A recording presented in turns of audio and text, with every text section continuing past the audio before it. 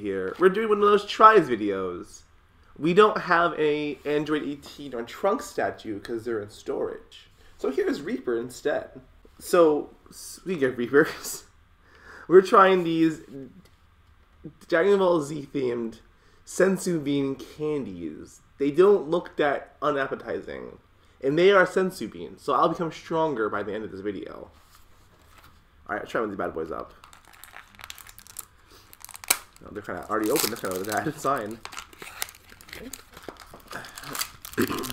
now they look like they look like beans, like like Bush's baked beans, or like this is just Bush's baked beans. I don't know. I don't know any other beans.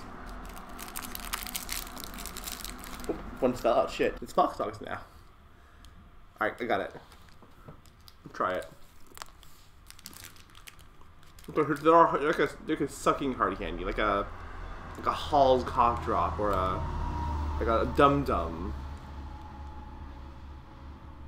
They aren't good. They're kind of bland so far. Oh no, there we go.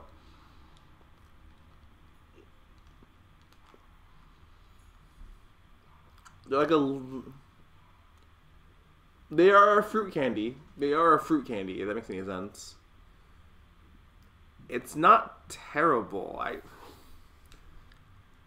I wouldn't call this good by any means, but I wouldn't call it bad. They're only 80 like calories, so I guess it's not the worst thing I can have today.